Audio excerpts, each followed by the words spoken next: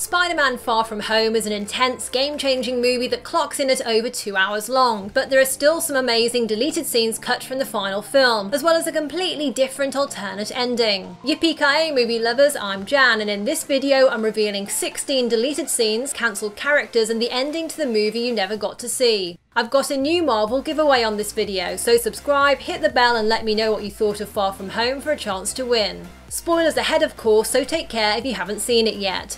The movie's writers Chris McKenna and Erik Sommers have revealed there are deleted scenes with Happy Hogan where he's stumbling through different descriptions and trying to come up with a term of his own for Peter's spider sense. In the final film, however, it's Aunt May who gets to name Peter's special power in the MCU. I thought that you could sense that with your Peter tingle. The reason the writers chose Spidey's aunt to coin that particular phrase was to dial up the embarrassment factor for Peter. Do not start calling it my Peter tingle. The worst thing for Pete is that May is also also told Happy, and it looks like the term is gonna stick. You get the Peter Tingle back online. Before Peter left for his school trip to Europe, originally he had a long to-do list of things that ended up being cut from the movie. Did you get your passport? Peter Parker here to pick up a passport, please. Yeah. Mini toothpaste? Mm-hmm. Take down the Manfredi mob.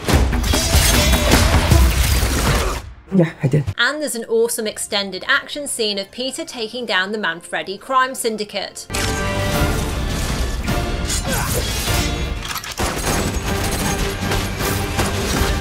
You gonna be the next Iron Man now? Well, no, I don't have time. I'm too busy doing your jobs. What? I'm kidding. I'm kidding. Look, keep up the good work because I am going on vacation. I love that guy. This deleted scene is a nice bit of street level action and feels similar to how Spidey took down the ATM criminals in Spider-Man Homecoming. The Manfredi crime family are prominent Spider-Man villains in the comics, and hardcore MCU fans may also recall that they appeared in the second season of Agent Carter, where Joseph Manfredi was the leader of a bigger crime syndicate called the Maggia.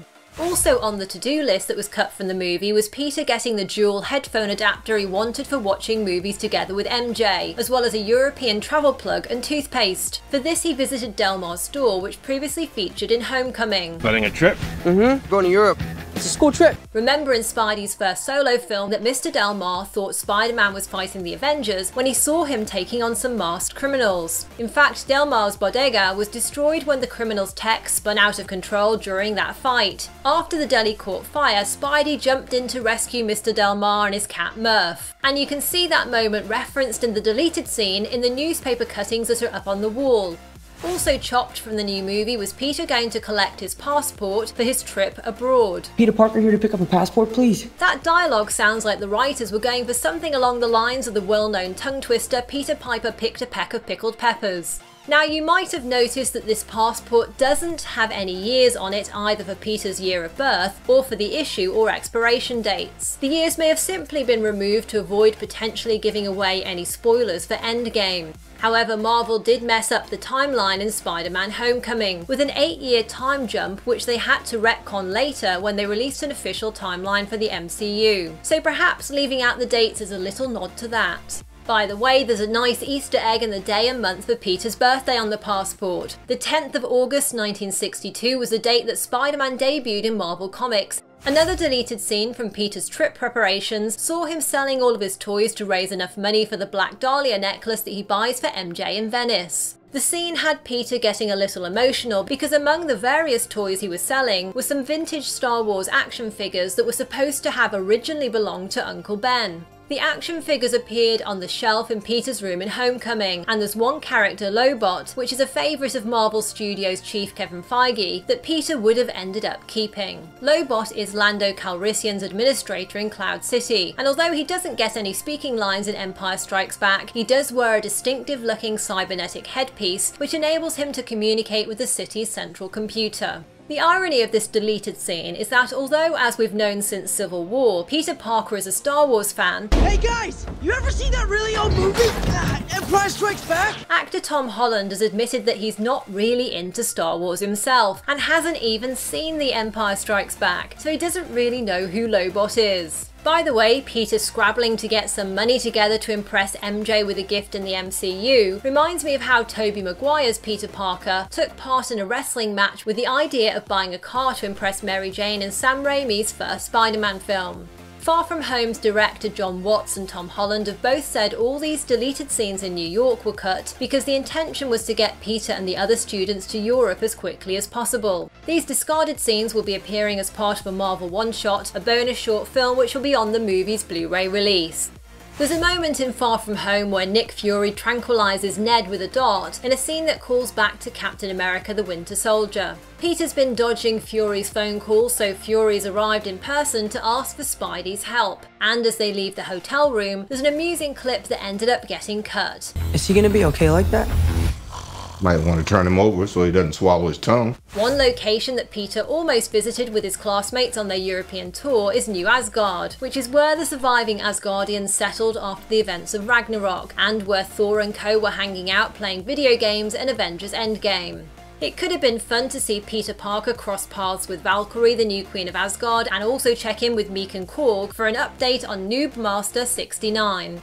The movie's mid-credits scene was pretty amazing with the surprise return of J.K. Simmons' J. Jonah Jameson as a conspiracy theorist commentator for the Daily Bugle website, offering up one of his typically prejudiced rants where he twists the truth about Spider-Man saying he's the real villain. Fans have been going crazy for this ending as it brings back one of the most popular characters and actors from the Sam Raimi trilogy. However, originally, an alternate ending was considered that could have brought Anthony Mackie's new Captain America in for a post-credit scene or late on in the movie's third act. In an interview with comicbook.com, Marvel Studios creative executive Eric Carroll said they discussed bringing in Falcon's Captain America at the end once Peter arced and he's sort of leading the team, and maybe he calls in a favour from Sam Wilson. However, this likely didn't happen because, as Kevin Feige has said, Far From Home is ultimately about Peter getting out of the shadow, not just of Tony, but of the Avengers in general. Are you going to step up or not? So, although Mackie's Captain America missed out on debuting in Far From Home, he'll be taking on Cap's mantle for the first time on his new Disney Plus series Falcon and the Winter Soldier. You can learn more about why Steve chose Falcon to be his successor and discover the future of Captain America in my other video.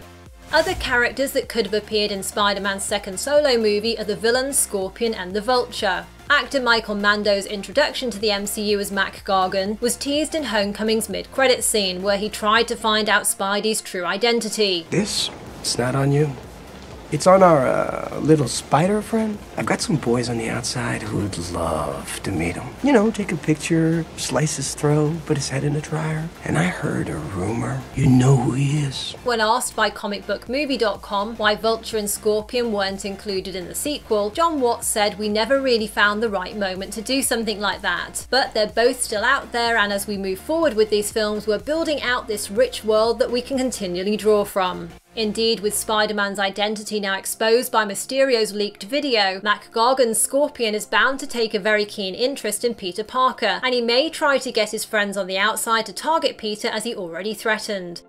Before the film came out, there was also talk that Norman Osborn might make an appearance, with rumours suggesting that he or Oscorp are the new buyers of the Avengers Tower. Although we do see Spidey swing by near the Avengers Tower, any indication of who may have bought the building has been cleverly hidden. However, when Jon Watts was asked about Norman Osborn, he explained that Osborn wasn't considered for this film in the end, but that he is still available for a future story. Jessica Drew, aka Spider-Woman, is another character that Marvel was reportedly considering to make her MCU debut in Far From Home. Apparently, two actresses in particular were seriously considered for the role. First was Shailene Woodley, who played Mary Jane Watson in The Amazing Spider-Man 2 before her character was cut from that movie. And there was also Olivia Cooke, who you may know from Ready Player One. Sources for the hashtag show suggested that Jessica Drew was going to be introduced as a Bond girl type international agent that Peter would meet on his trip to Europe. Given Spidey's incredible popularity, it's surprising that there still hasn't been a live action incarnation of Spider-Woman, but hopefully that could change soon. One character that Jon Watts confirmed was considered for Spidey's sequel is Captain Britain. Clearly, Peter Parker's trip to London would have been a great opportunity for a potential cameo, especially after Avengers Endgame, where Peggy Carter's mention of Braddock hints at the existence of Captain Britain in the MCU. However, according to Watts, they just couldn't come up with a clever way of incorporating Captain Britain into the Far From Home script, and their attempts to do so ended up feeling like shoehorned in references. A character that Homecoming neatly set up for future appearances was Miles Morales. When Donald Glover's The Prowler appeared in Spidey's first solo MCU movie, he mentioned his nephew Miles. However, Miles didn't appear in Far From Home primarily because the character had just had a high profile introduction, albeit in animated form, in Spider Man Into the Spider Verse. Despite this, Jon Watts has said that Miles could still be introduced in a live action movie further down the line. By the way, Tom Holland himself had a deleted cameo as another Peter Parker in Into the Spider Verse. A couple more trailer scenes I spotted which weren't in the movie include this one of MJ and the newly in love couple Betty and Ned passing through customs. And there's an extended scene of Peter's encounter with the Italian customs officer which was trimmed down in the final movie. Questo? They're my pajamas. You know, pajamas. They're bigger because that's how I like them pajamas. Okay, that's fine. And when Hydro Man emerges from the Venice canals to wreak destruction, it looks like this shot of Peter perched on the roof of a Venetian bridge was chopped from the film. The shot in the actual movie has Peter in a different position and wearing a purple carnival mask.